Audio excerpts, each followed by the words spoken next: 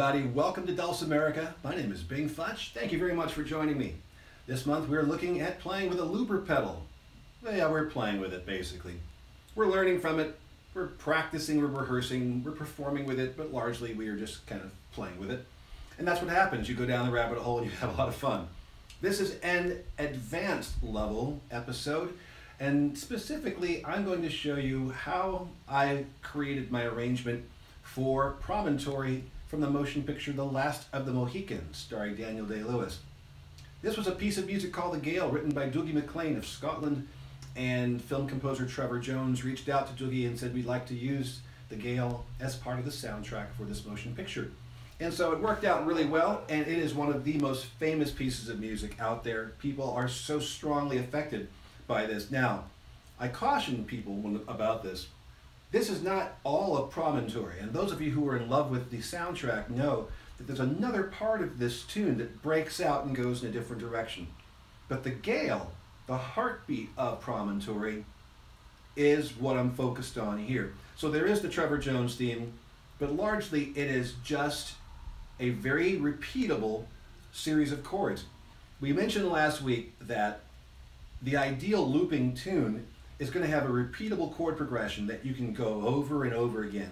Doesn't take you long to build it, but you can definitely build on top of those chord progressions, very, very simple as they are, and make something more complex by what you apply over the top of it, and that's what makes this piece stand out.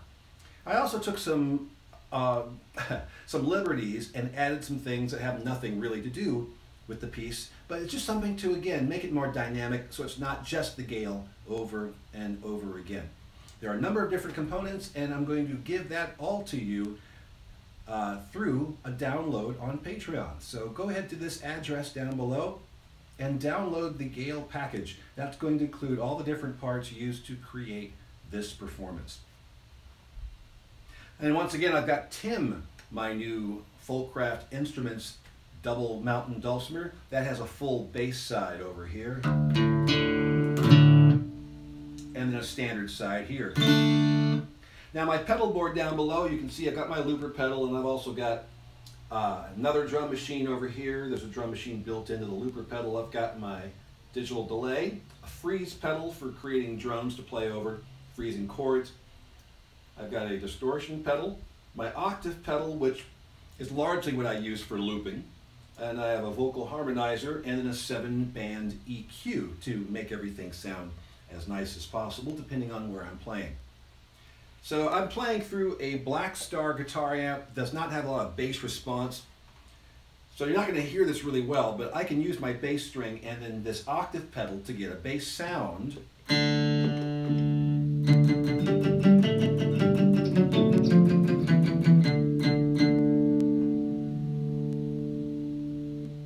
Folkcraft make this actual bass for me because it gets the job done and it sounds a lot better and doesn't warble on you like some of these uh, pedals do.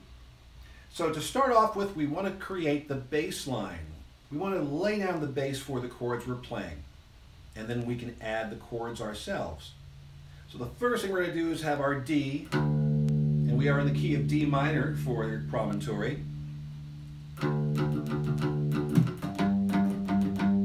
Going to go to G next. Then down to F, E, and then back to D.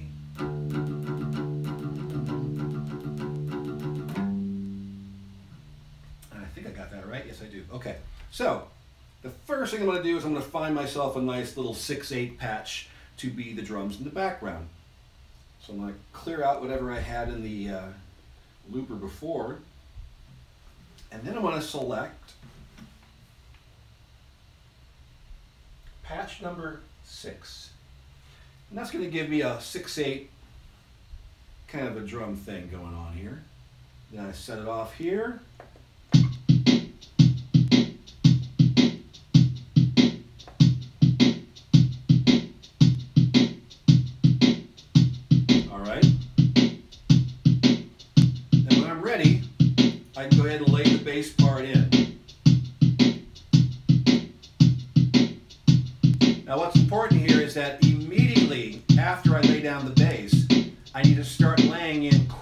Right away. So let me do something real quick here. Now let me stop it. Okay. We talked last episode about options when you're creating your loops. One of those options is when you set your loop, that the record function will switch off and allow you to simply play over the loop you've created. But if you're building your supporting chords in pieces like I do with the mountain dulcimer, then you don't want to have it go to play when you set your loop. You want to actually keep recording so you can keep adding bits and pieces and then assemble, construct your supporting uh, chords uh, as quickly as possible and then be able to solo over the top. This takes a lot of practice and it takes a lot of coordination because sometimes I'm hitting things with my foot at the same time that I'm activating over here. Sometimes I've got both feet doing things. Today, normally what I would do, I would set the loop, and as I set the loop, I'd be turning off my bass pedal and then playing normally. This time I'm not going to be doing that with the bass pedal because I'm going to actually switch from one side of the fretboard to the other. Okay, I'm going to lay in the bass first and then chords.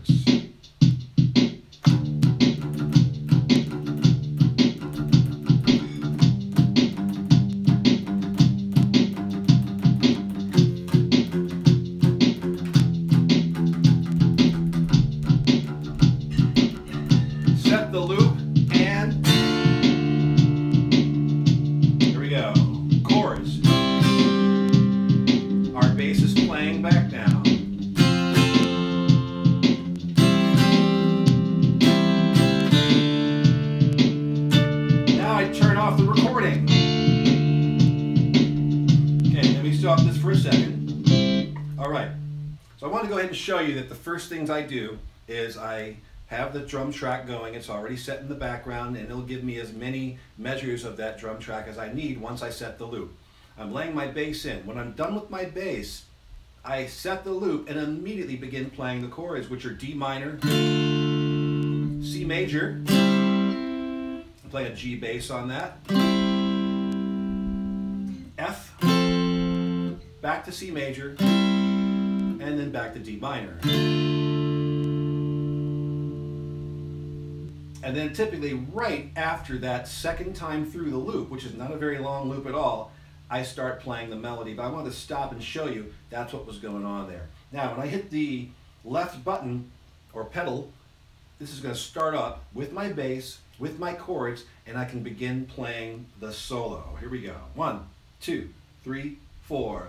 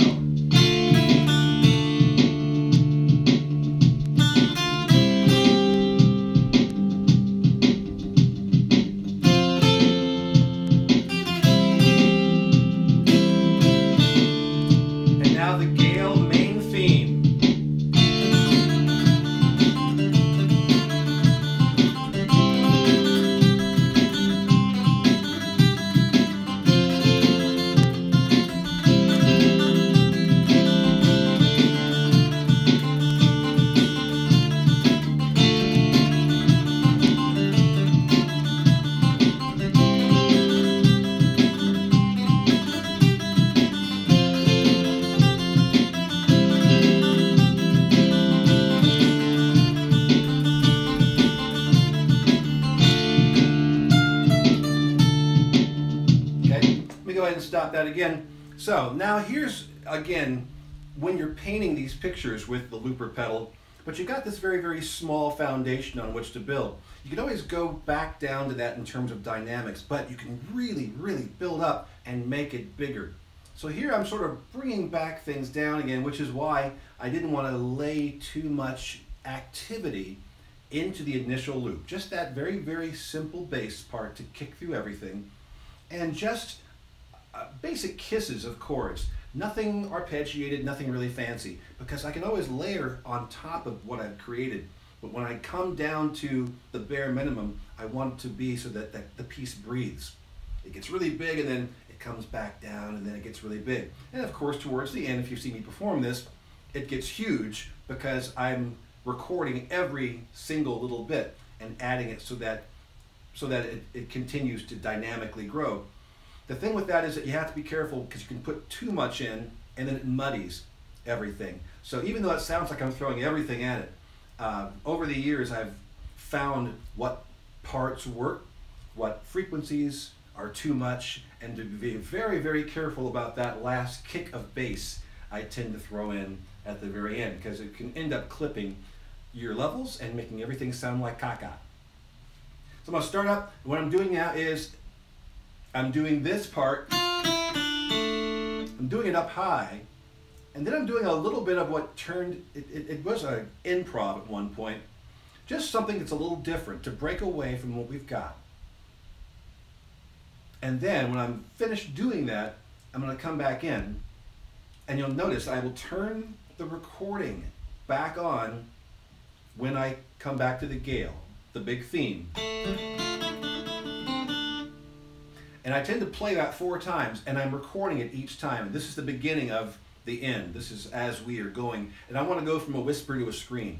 So if you think about this being where we're at, it's going to continue to grow and grow and grow all the way until we get to the end of the piece. That starts with me, or yeah, the beginning of the end starts with me recording the Gale piece four times through. It's really important to try and nail that as much as possible because if you nail those notes timing wise, it makes it fatter and then it will be heard above everything else I'm adding. Uh, also, it just sounds cleaner. Sometimes I can do it, and sometimes I'm like, Ugh. especially if I start this too quickly, and there's a danger in that.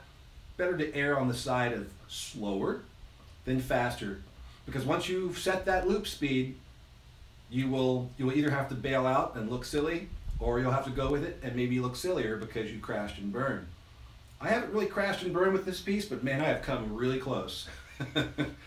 okay, we're to start up again. I'm to carry from the top now. And, uh, and then we'll go from there. Watch how we build this from a whisper to a scream. One, two, three, four.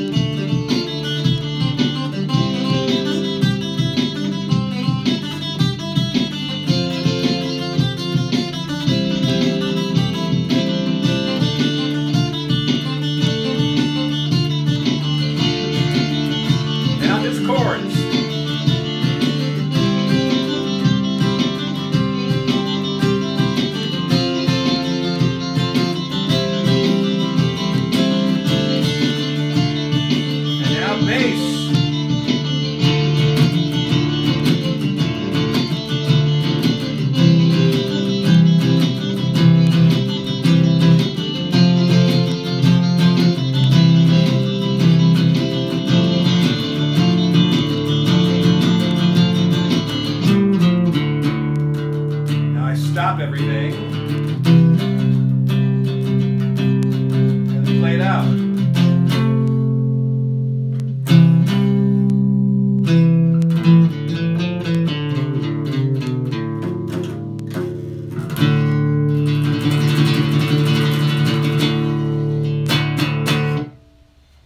And that is how I play Promontory from the Last of the Mohicans. Um, typically I'm using a bass pedal, but now since I've got this awesome bass side on uh, my dulcimer, I'll be using that a lot more often because it sounds more natural.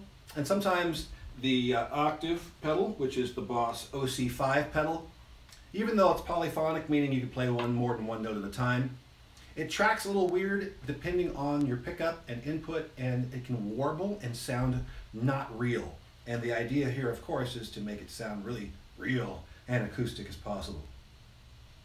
That is a great, great fun piece of music. I love playing it. It's challenging and it really evokes quite a lot of uh, ideas and memories and visuals for people wherever I play it. So now you've got the music and now you've got the secrets to how I loop it all together. Go out there and uh, have some fun with it. It really is something. And I just, I never get tired of playing it. Never get tired of people asking for it. So I hope this has been helpful this whole month, looking at playing with the looper pedal, having fun with it, using it to practice, rehearse, using it to write, using it to even uh, perform out in public. Yeah, it's it's uh, it's a little tap dancing, and it's even more difficult when I really can't see what I'm doing. Normally, I don't play on the stand, and I can see what's going on down there. Normally, the dulcimer's on my body, and it's a lot easier. So right now, it's kind of awkward, but uh, this is an art form, and I don't do it all the time, but I do use it enough to uh, lend some support to the music that I'm playing and make it a little bit bigger than just the dulcimer itself. If you have any questions about looping or about adding to your pedal board, you can always send me an email to bingfutch at yahoo.com and I'll be happy to help you out. Next week will be an all skill levels episode featuring the looper pedal. And I think I'm going to share with you a brand new looping arrangement that I've just put together. And uh, we'll see what you think about it. Until then, everybody, have fun, and we will see you next week.